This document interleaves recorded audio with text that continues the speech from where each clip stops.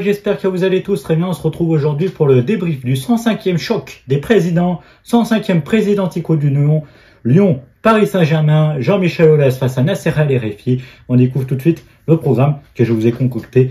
Allez voir dans la description, il y a le lien de mon blog, il y a un petit article aussi correspondant à ce match. C'est le débrief façon lecture. Allez, découvrons le programme que je vous ai concocté. En premier, nous verrons les compositions d'équipe euh, par les deux coachs. En, deuxième, nous verrons une analyse euh, qui fera par ordre chronologique avec quelques petits stats aussi historiques. Euh, donc ça fera acte de résumé. Troisième, nous verrons les incidences au classement, etc.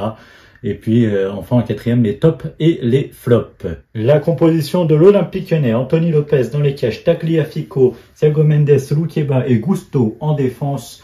Le milieu de terrain à deux, c'est Tolisso et Maxence Cacré en double pivot. Les quatre attaquants de devant, Toko et Kambié, Tété sur les côtés et la casette Dembélé, première fois qu'ils sont alignés en tant que titulaires tous les deux ensemble. Voilà un remaniement tactique pour Peter Bosch après deux défaites d'affilée. Il fallait peut-être un peu d'innovation. C'est ce qu'on attendait. En tout cas, moi, c'est ce que je voulais voir avant ce match, voir les deux euh, protagonistes euh, en attaque. Pour le PSG, Donnarumma dans les cages, Ramos, Danilo, Pereira et Marquinhos pour cette défense à 3.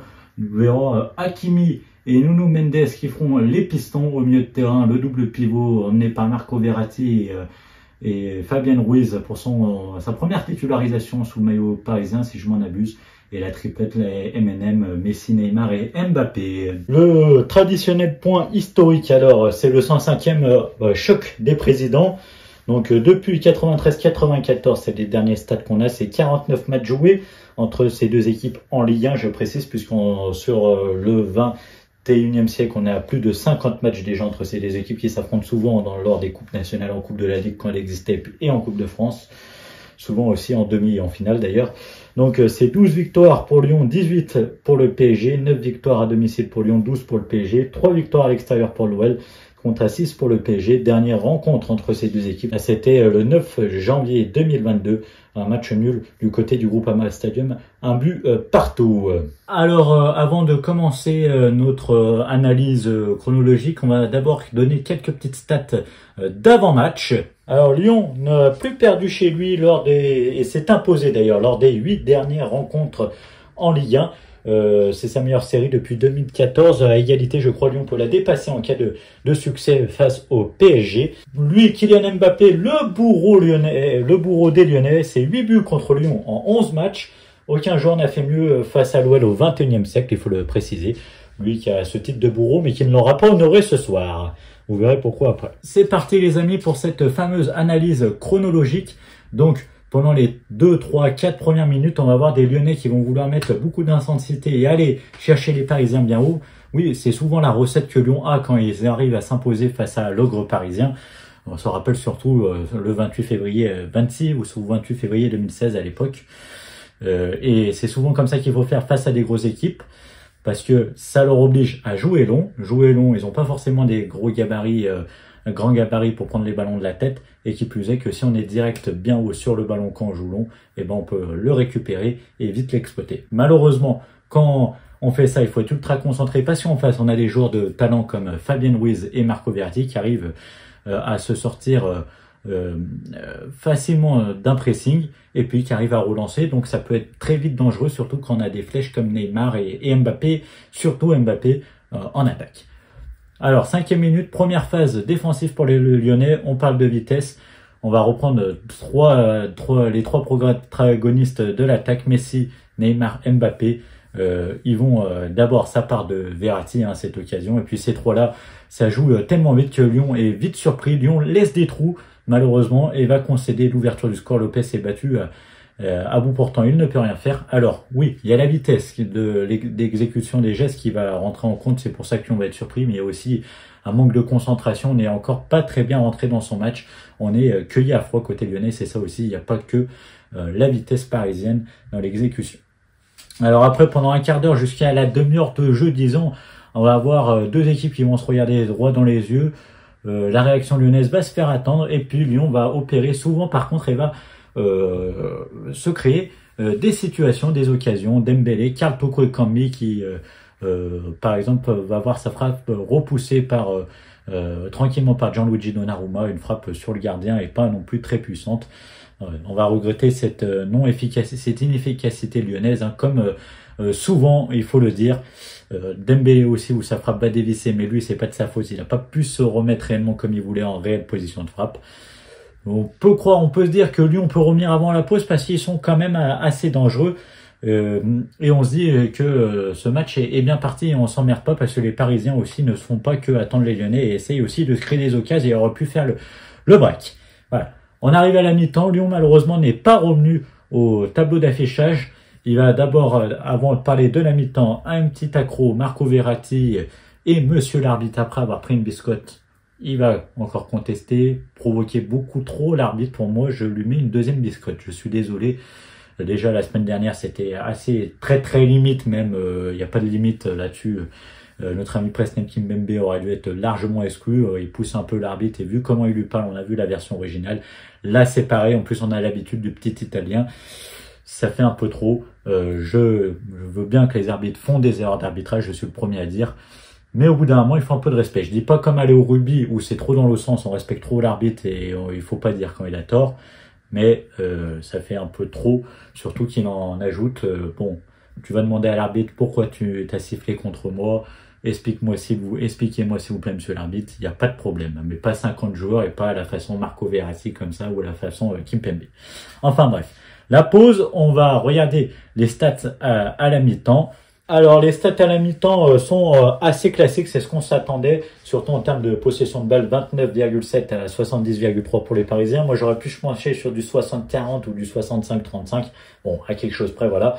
Dans le nombre d'occasions, 8 tirs côté lyonnais, 9 côté parisien, c'est aussi ce qu'on attendait avec beaucoup de jeux, mais aussi beaucoup de, déchets, hein. 3 tirs cadrés pour Lyon et 4 pour les Parisiens. Dans les passes, par contre, on voit que ça, euh, c'est pas trop euh, c'est surprenant. 187 passes pour les Lyonnais, on voit qu'ils ont eu du mal. C'est surtout aussi parce qu'on fait des attaques rapides, donc on essaye de faire le moins de passes possible. Mais les Parisiens ne ont que 442 passes. On les a vus souvent dans certains matchs à avoir plus de 500, 600 passes dans, dans le match. Mais c'est parce que aussi l'équipe était réellement acculée en défense. Leur adversaire du jour euh, ne l'était pas forcément, même s'il l'était un peu moins que des équipes euh, comme le Stade de Reims ou la Géoxer ou Angers par exemple, sans leur faire offense. Euh, je sais pas pourquoi, c'est les premiers qui viennent à l'idée hein, de prendre ces noms-là. Aucun truc raciste là-dedans, discriminatoire. Voilà. Donc c'est aussi ça qui, explique le tout. Donc il faut savoir au retour des vestiaires, Peter Bosch décide de sortir Corentin Tolisso qui a été touché en première période, il a été remplacé par la recrue estivale Johan Lepenant. Alors, si j'ai bien compris, rien de bien grave, c'est seulement un petit coup.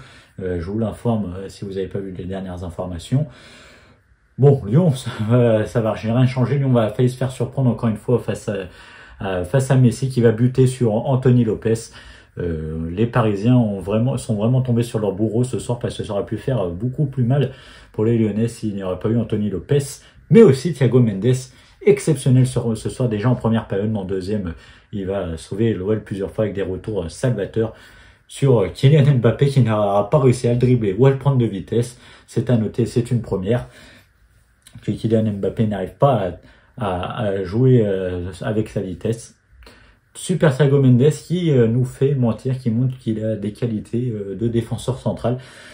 Il a été souvent critiqué à juste titre, ça a été normal, mais hier il est l'un des hommes du match, hein. surtout dans le dernier quart d'heure, il permet à Lyon de garder espoir avec Anthony Lopez aussi qui va s'interposer. Euh, plus que Lyon va tout tenter le tout pour le tout, hein. d'ailleurs les entrées de Cherki et de Jeffrey Nedali le montrent, et puis il va se faire prendre en compte logiquement.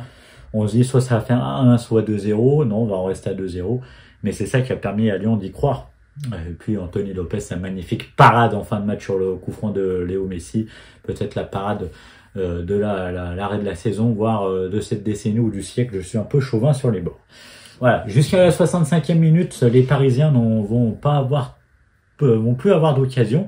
Les Lyonnais vont avoir quelques situations, mais vont avoir du mal à se mettre dans une réelle position de frappe, une frappe ou de centre qui peut être dangereux. Il y a eu quelques frappes, mais pas très dangereuses c'est suite aux positions des attaquants, mais c'est euh, les Parisiens qui, qui les empêchent de mettre euh, de se mettre en position. Et oui, une très bonne défense, mise à part Sergio Ramos, qui nous a rappelé Jérôme Boateng, le duel Jérôme Boateng-Léo Messi avec Alexandre Lacazette. Il l'a foutu au sol, c'était presque le, même. C'est la petite plaisanterie du, de, cette vidéo. En tous les cas, Paris va après avoir des occasions contre, mais on va voir Kylian Mbappé personnel, rouspété, et puis qui ne sera pas le bourreau lyonnais. C'est un mini exploit déjà pour les lyonnais de, ne pas avoir pris un but de, Kylian Mbappé. Neymar va manquer l'immanquable aussi, va buter sur Anthony Lopez. On se dit, à ce moment-là, j'ai hésité quand même à le foutre en flop, je ne le mettrai pas, vous verrez, parce qu'il a quand même fait une passe décisive, mais on se dit, il rate l'immanquable. Il reste à peu près 20 minutes à jouer, c'est la 72e si je dis pas de bêtises. Il n'a plus qu'à pousser le ballon au fond des filets. Lopez fait un magnifique retour alors qu'il était pris à contre-pied. Il, était, il avait plongé pour arrêter le ballon là. Il arrive, voilà. Je me dis, là, si Lyon revient tout de suite dans le match, elle ne peut ne plus être la même. Lyon peut aller chercher la victoire, pourquoi pas. Déjà, on est à 1. Déjà, il y a deux points de moins pour le PSG. Et euh, donc, il empêche le, PSG de prendre la tête euh, du championnat euh, seul. Et aurait pu même coûter carrément trois points parce que ce n'est plus le même match à ce moment-là. Je vais le préciser les stats de la deuxième mi-temps. Et après, on passe au classement. Et puis, je vais vous montrer la petite équipe type de la journée, puisque ça, ça a fait parler de ce match. Alors voilà, euh, les stats de cette deuxième mi-temps, 65 euh, de, match complet, 65 à 35 de possession de balles pour les Parisiens. Donc c'est du classique, c'est ce que je m'attendais sur l'ensemble du match à peu près, comme je vous ai dit tout à l'heure.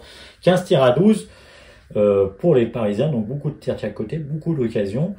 8 euh, tirs cadrés pour Paris, 3 pour Lyon. On voit le manque d'efficacité lyonnais, mais aussi parisien, parce que quand on tire 15 fois, qu'on cadre 8 fois, ça veut dire qu'on a bien placé le ballon, en tout cas qu'il est dans le cadre, on n'arrive pas à, marquer, c'est quand même beaucoup. 798 passes, c'est assez énorme pour les Parisiens qui ont plus que doublé leur passe, euh, qui ont euh, doublé à peu près leur passe de la première mi-temps et qui ont réussi, on voit, à mettre en danger sur les, les, les, les occasions, qui n'ont pas à baisser de de baisser le niveau en deuxième période. Lyon a lui haussé aussi son, son jeu, 410 passes, on a plus du double hein, de passes dans ce match. Donc on voit un match assez technique, mais aussi avec beaucoup de déchets.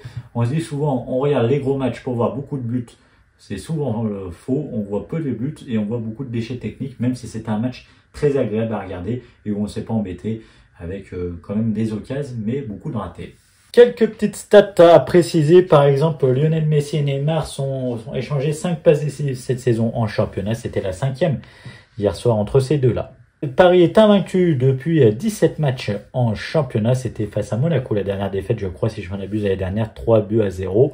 Le classement de cette Ligue 1 Uber Eats, le Paris Saint-Germain est en tête avec 22 points, 2 points d'avance sur son dauphin marseillais. Lyon euh, plonge dans la crise, 6e, 13 points et accuse déjà 9 euh, points de retard sur euh, euh, l'adversaire du soir. Attention ne pas retomber dans les travers de la saison passée. La huitième place n'est pas bien loin, elle est qu'à un point. C'est une petite plaisanterie. L'équipe type de cette journée, je voulais la vous la montrer, voilà pourquoi. On retrouve Anthony Lopez dans cette équipe type et Thiago Mendes côté lyonnais avec une note de 9 et de 8. Et puis Léo Messi à 8 euh, aussi. Et puis on retrouve Monsieur l'arbitre François Le Texier à 7. Voilà pourquoi je voulais montrer. Donc ce match est vraiment très impactant. Et sans oublier Marco Verratti, j'avais oublié, à 8 aussi sur 10. Voilà, donc le match a pesé sur cette journée, c'est normal, c'était le, choc de cette journée et un classique du championnat. Les tops et les flops, c'est maintenant. Premier top, Thiago Mendes, souvent euh, critiqué euh, à juste titre, le milieu de terrain défensif reconverti en défenseur central a répondu de la meilleure des façons aux critiques qui lui sont faites. En effet, avec ses nombreux sauvetages et retours salvateurs, il a permis au GON d'entretenir l'espoir de revenir au score. Le deuxième top, Anthony Lopez. Si son début de saison est vite à oublier, il peut tout de même garder à l'esprit sa prestation du soir. En effet, il a sauvé à de nombreux, à de multiples reprises les Gones et même l'auteur du plus bel arrêt de la saison sur le dernier coup franc de Léo Messi. Il est indéniablement avec Thiago Mendes l'homme du match. Troisième top, Alexandre Lacazette. Attention, comme on pourrait dire, meilleur arrive pour la fin. Le capitaine lyonnais a été l'auteur d'une très belle prestation qui n'a malheureusement pas été euh, récompensée à juste titre. En effet, il a fait beaucoup d'efforts offensifs comme défensifs et a assumé, assuré le rôle de, a assumé le rôle de leader d'équipe quand ses coéquipiers étaient dans le dur physiquement et mentalement. Le dernier top, ça sera le dernier, ça fait déjà pas mal, le meilleur pour la fin. Comme je disais, petite blague, Lionel Messi. Si les Parisiens se sont défaits des Lyonnais, Léo Messi n'y est pas pour rien. En effet, le septuple ballon d'or est l'auteur de l'unique but de la rencontre, mais aussi pesé sur le jeu de son équipe lorsqu'il fallait faire preuve de créativité et se créer des occasions. On a enfin retrouvé le vrai Messi. Le premier flop, Mathéus Tété. Si son début de saison peut être qualifié de réussi, sa prestation du soir nous indique tout le contraire. En effet, il a été très peu existant et lorsqu'il a touché des ballons, il ralentissait le jeu lyonnais. Avec un grand Mathéus Tété, l'issue du match n'aurait peut-être pas été le même. Le dernier flop, Kylian Mbappé. S'il est souvent désigné comme étant le bourreau des Lyonnais, 8 buts inscrits en 11 matchs. En Ligue 1, il n'a pas réellement honoré ce titre lors de ce 105e présidentico. En effet, râleur souvent personnel et absent du jeu parisien, il n'a pas pesé sur la rencontre. Cette mauvaise prestation a été confirmée par le nombre de duels qu'il a perdu face à la défense lyonnaise. Voilà les amis, j'espère que la vidéo vous aura plu. Je vous donne le programme de cette fin de semaine. Alors jeudi, enfin ou dans, dans la nuit ou vendredi, le débrief et le petit article de, euh, du match de l'équipe de France. Euh, samedi, le débrief dans la soirée, parce que le match est à 15h, le petit article du match de l'Arménie face à l'Ukraine. Puis des mois, je crois que l'équipe de France rejoue, c'était à revérifier. Mais en tous les cas, il y aura les deux matchs qui suivent aussi pour ces deux équipes-là en Ligue des Nations. Allez, je vous dis Kichet Pali, à la prochaine, euh, salut